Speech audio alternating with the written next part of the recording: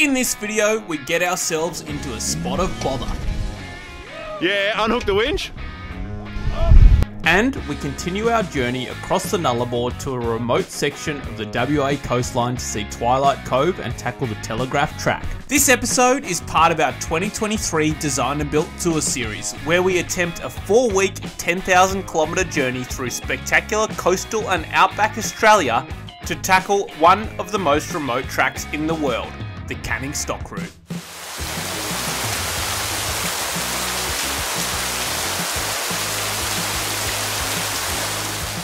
In the previous episode, we started our trip from Melbourne, checked out Coffin Bay and Port Lincoln on the Eyre Peninsula, then we teed off across the Nullarbor. He like runs up to it. It's like a Happy Gilmore every Gilmore, shot. yeah. We also had a catastrophic engine failure, which meant we had to cram all our gear into four cars instead of five, and now we pick up where we left off, somewhere across the Nullarbor.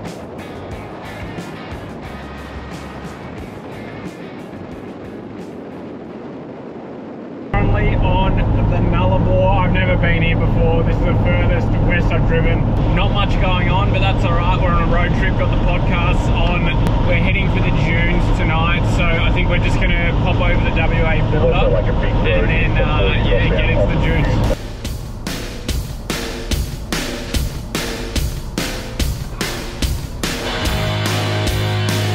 As we made our way across the Nullarbor, our seasoned gaggle of golfers continued to play well and truly under par on the world's longest golf course. That one's definitely making it on the video.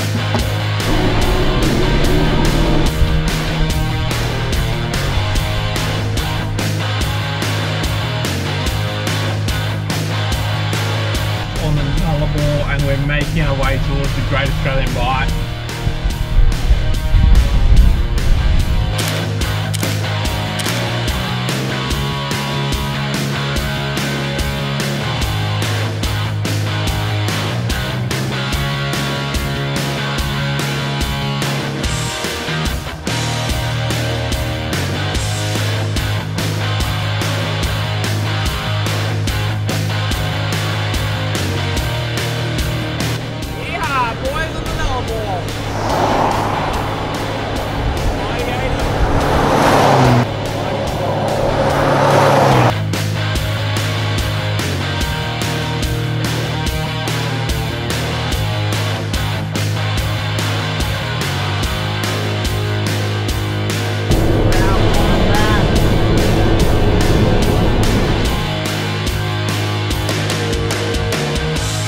Stopped in at the iconic Eucla pub for dinner before heading into the Delisser sandhills to camp for the night. In true touring form, we arrived in the dead of night and had no idea what was surrounding us. But we woke up to this. A breathtaking set of sand dunes right on the WA-SA border, and after a quick brekkie, we decided to explore this stunning part of the world.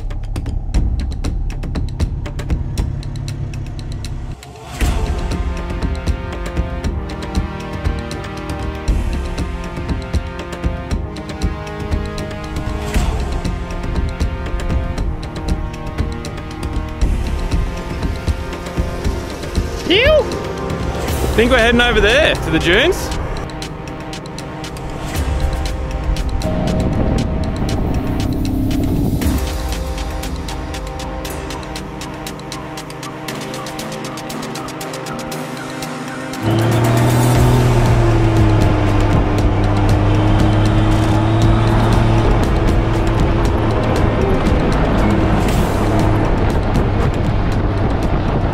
Bit of a predicament, didn't quite make it up, reversed out the wrong way. We got Devo here, he's gonna film me. And I'm on the winch.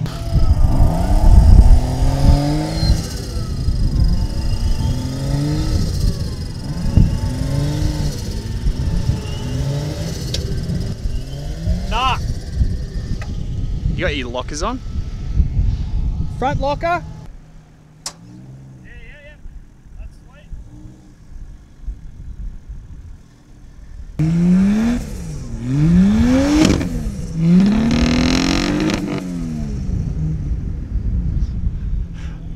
Less bulldozer, I'd say.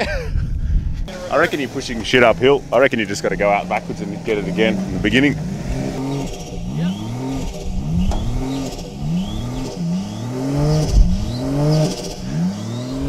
Right hand down. Right hand down. Yeah, unhook the winch.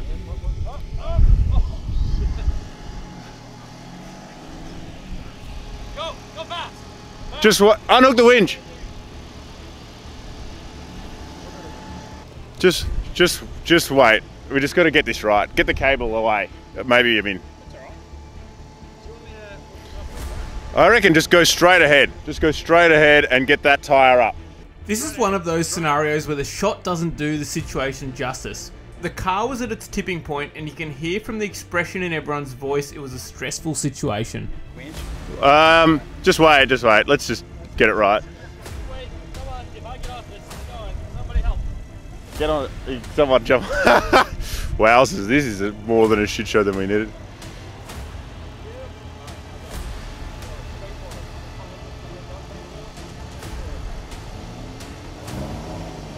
Yeah. Easy, easy, easy, easy, easy, easy, easy. Just chill. Just slow. Yeah, you're good. Now you can come out. Just jump out of the way, Dad.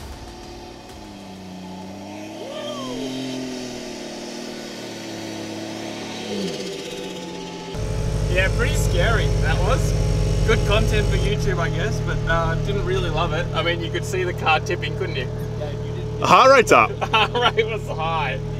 yep. Having guys on the edge, you know it's serious. Yeah, that's right. Yeah, I mean, obviously, really irresponsible. You never do that in a rescue situation. Should have had this camera on while I was filming that. Uh, got in a bit of a hairy situation. It was like a nothing little sand dune, and I reversed into a really awkward spot. And uh, yeah, to get it out, the car was like teetering on the edge. Jesus. That's the most scared I've been in this, like more scared than gunshot, and you can see I'm still buzzing. So thanks, fellas, for having my back.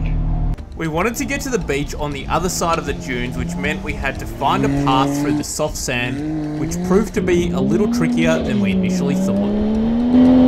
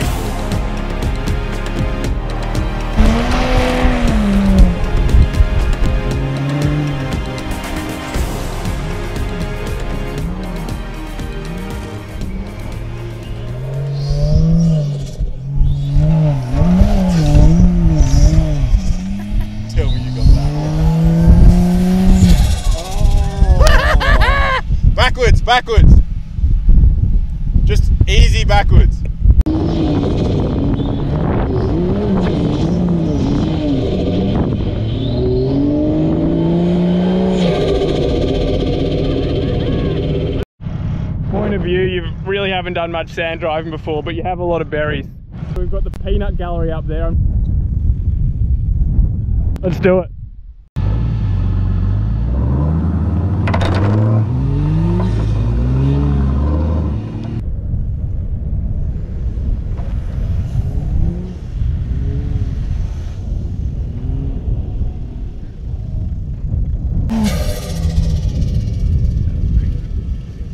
Classic. So what we're doing is just getting a drone shot of me sending this dune. We already got a shot.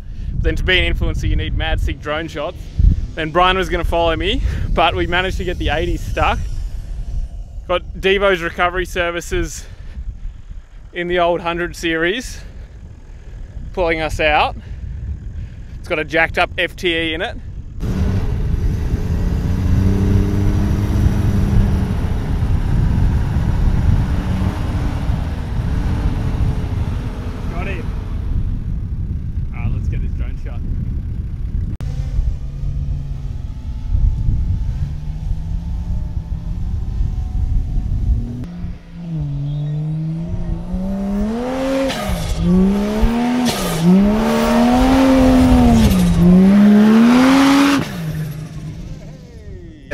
Drive irresponsibly on the channel.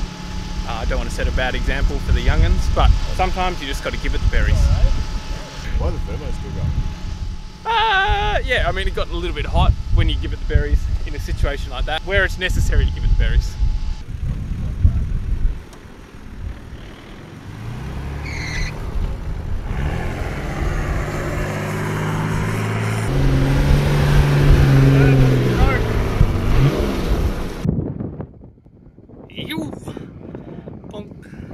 After a few hours of this and driving around aimlessly like this, we finally got to the other side.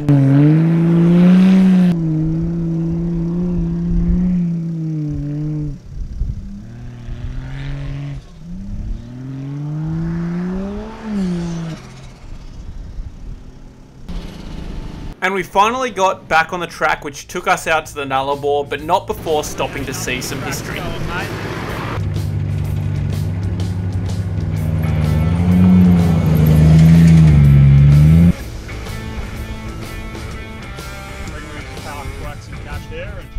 Heard that it was constructed the same era as the pyramids. Maybe earlier. Maybe earlier. Same guys. Same guys. Yep. I think it was the Egyptians' holiday home. That's what you'll get on this channel. Nothing but facts. That's no good. If this is you, do yourself a favour, give yourself an uppercut. It's not good. So we just spent a night at the dunes on the border of WA and SA. Really cool, I haven't done anything like that before. Got my four-wheel drive stuck a few times. And we're heading to Cocklebiddy, so another three or four hours down the highway. And uh, yeah, I think we're gonna try camp there before nightfall. Probably not gonna happen. We're, we are uh, just a, a crew of faffers, so let's see how we go.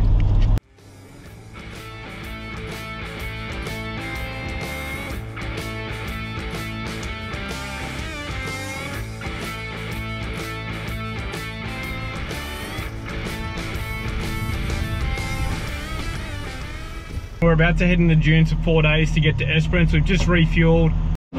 Last fuel for a couple of days. This one hurt. Ouch.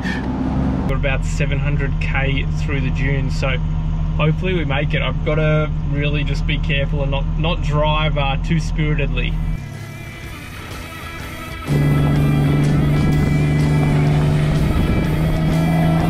Literally just at the back of the Cocklebiddy pub.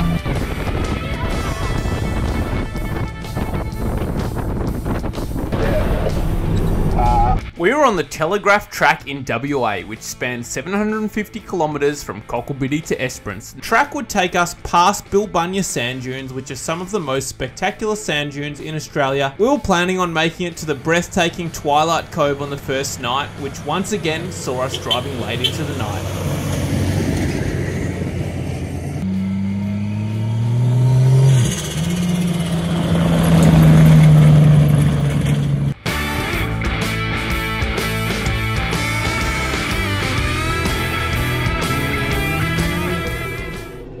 Few hours driving, we ended up hitting the sand and then we set up camp for the night to start the evening's cook up. Second meal cooking on induction tonight.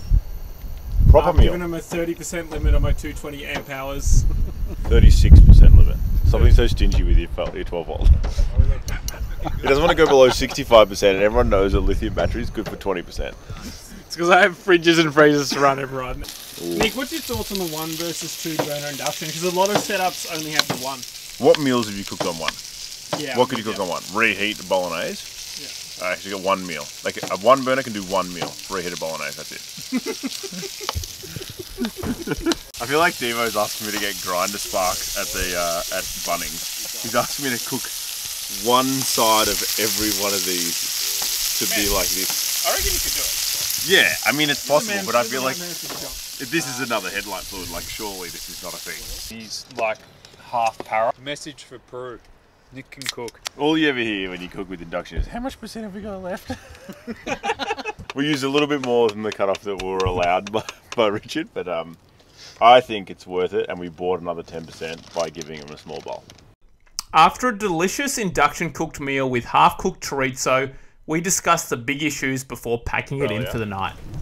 Regardless of the radio- radioactiveness, you could carry the amount of waste From out Paris. that would power a whole, the whole of Australia in a year. So people are always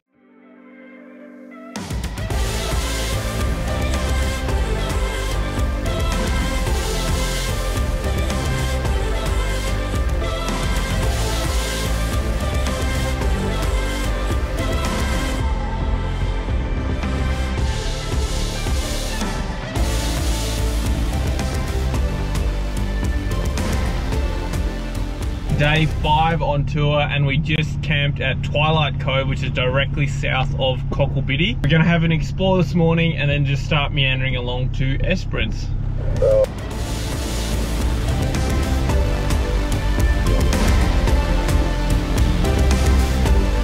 These are the cliffs that we came to see. It's a little bit of a dogleg from the main track, but if you're in the area, it's well worth it.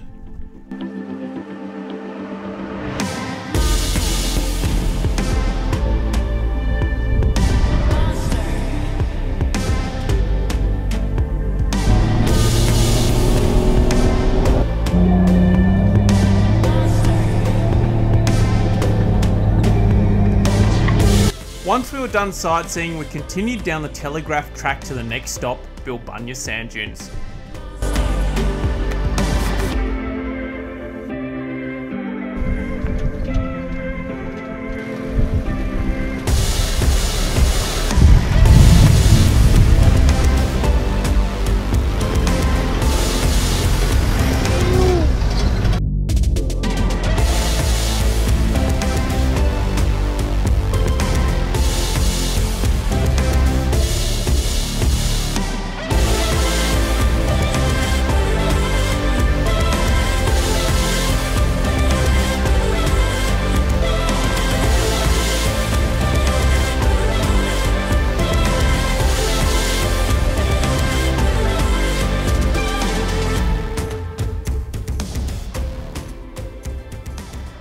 We're following the coastline down from Cocklebiddy all the way down to Esperance. It's pretty slow going, 20 kilometre an hour stuff, but should get rewarded with some nice beach runs in the middle of nowhere with no one around. Pretty good. 28 degrees outside. Delicious. Good on these ones to switch up cars. Take some of the boredom away, especially on these long tracks. See what you do and don't like. Generally ends up costing you more money He's like, oh, I like that suspension. Oh, that's pretty good. So if I find anything good about the Barra, I'll uh, let you know.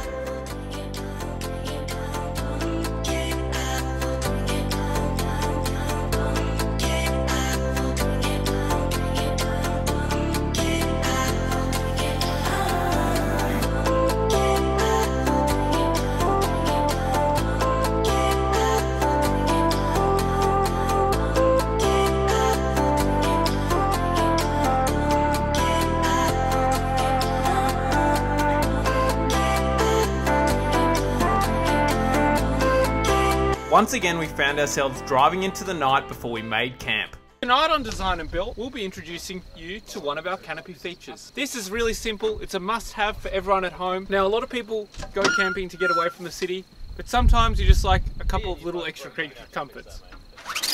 It's really important to remember that only classics will be played on this projector. Such films such as Shawshank Redemption, Top Gun Maverick, you get the idea. Maybe an episode of Design and Built. Maybe an episode of Design and Built.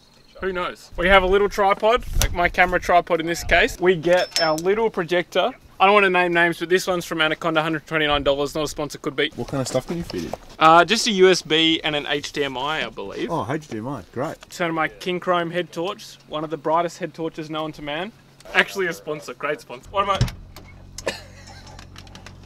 All you need is some extension cables from eBay, not a sponsor, could be, and then you set up your canopy to house the cables or to take them in. In this case, we've got a 12 volt socket. Run it all the way. Size of this thing. That's Someone else has come to watch the oh movie. my god. Is that a moth? It's a moth or a flying horse. Cool Runnings, uh, one of the classics for my younger viewers. If you haven't watched it, make sure you go watch it. They're from Jamaica. They have a bobsled team. Feel the rhythm! Feel the ride! Come on, Jamaica! It's bobsled time! Everyone knows. Dinner, movies, and a fire.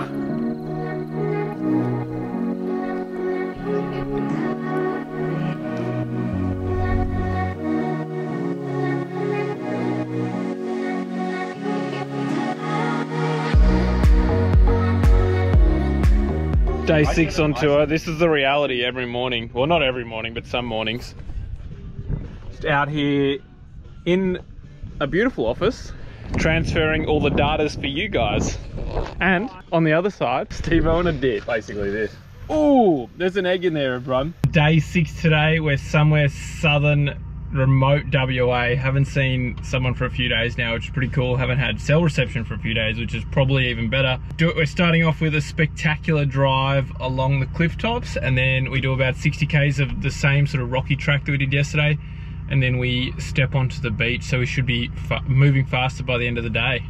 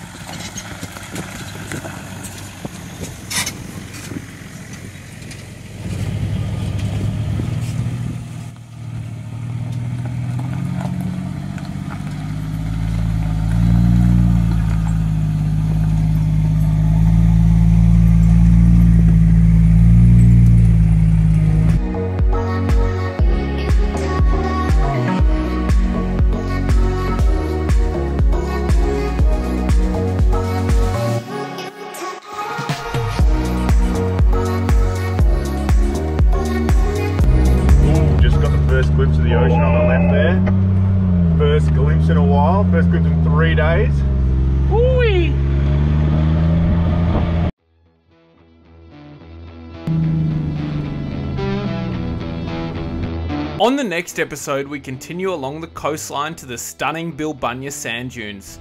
Then we head on to Esperance where our trip starts going awfully pear-shaped. Um, and he said it was just absolutely just wet, so wet out there.